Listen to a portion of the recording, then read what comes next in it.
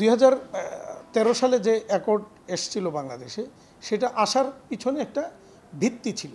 কারণ ওইটা আসার জন্য আমরা জেনেভাতে একটা এমইউ স্বাক্ষর স্বাক্ষর করেছিলাম ইউরোপীয় ইউনিয়ন এবং ইন্টারন্যাশনাল আইএলও সহ সবার সাথে যেখানে বাংলাদেশের পররাষ্ট্রমন্ত্রী ছিলেন উপস্থিত পররাষ্ট্র সচিব, বাণিজ্য সচিব এবং শ্রম সচিব ছিলেন। এবং সেই চুক্তিতে বাংলাদেশের পক্ষে আমরা যেই কয়েকজন স্বাক্ষর করেছিলাম, তার মধ্যে আমি ছিলাম একজন। বিজিএমির প্রেসিডেন্ট আমি এবং আমাদের যে এমপ্লয়ার্স ফেডারেশনের প্রেসিডেন্ট সই করেছিলেন আর শ্রমিক পক্ষে ওই সময় জাতীয় শ্রমিক লীগের সেক্রেটারি জেনারেল রায় রমেশ সই করেছিলেন ওই স্বাক্ষর ওই চুক্তির প্রেক্ষাপটেই কিন্তু বাংলাদেশে পরবর্তীতে অ্যাকর্ড আসে এবং আমাদের এখানে এই এই ধরনের সেফটি কার্যক্রমগুলি তারা পরিচালনা করেছেন এবং আমরা তাদেরকে ওয়েলকাম করেছি। কারণ সত্যিকার অর্থেই তখন আমাদের কিন্তু এই সেফটি সম্পর্কে খুব একটা ধারণা আমাদের ছিল না। এটা আমরা রানা প্লাজার পরে যে ইমেজ ক্রাইসিসে আমরা পড়ে গিয়েছিলাম, সেখান থেকে আমরা, আমাদেরকে উদ্ধার করার জন্য, এই সেক্টরকে এবং দেশকে মান সম্মান বজায় রাখার জন্য এস্টাবলিশ করার জন্য আমরা বদ্ধপরিকর ছিলাম। যার কারণে আমরা বলেছি যে কোনো কিছুর বিনিময় হলো আমরা আমাদের এই ইমেজ সংকট যেটা হয়েছে, এটাকে ওভারকাম করতে হবে আমাদেরকে। তো আমরা অ্যাকর্ড অ্যালায়েন্স তাদেরকে আমন্ত্রণ জানিয়েছি, তারা আসছে, আমরা কাজ করেছি।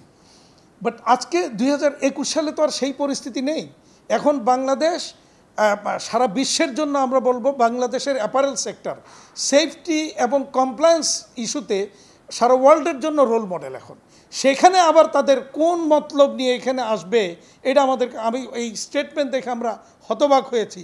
তাদের কিন্তু প্রথমত হলো যে তাদের কার্যক্রম পরিচালনার আর কোনো এখানে প্রয়োজন নেই বলে আমরা মনে করছি, এক নাম্বার। দুই নাম্বার হচ্ছে বাংলাদেশের সর্বোচ্চ আদালতের নির্দেশনার অনুযায়ী তাদের বাংলাদেশে নামে, বেনামে কোনোভাবেই আসার তো প্রশ্নই আসে না, কোনো সুযোগ নেই। কোনো কার্যক্রম পরিচালনারও কিন্তু কোনো সুযোগ, তাদের কোনো সুযোগই নেই। সেখানে তাদের এই ধরনের একটা ঘোষণা দেওয়া আমস্টারডামে বসে, এটা আমরা মনে করি স্বাধীন সার্বভৌমত্ব, ভৌম একটা রাষ্ট্রের জন্য এটা হুমকি স্বরূপ এবং এটা অধ্যত্বপূর্ণ বক্তব্য এটা তাদের। কোনোভাবেই এটাকে অ্যাকসেপ্ট করা যায় না।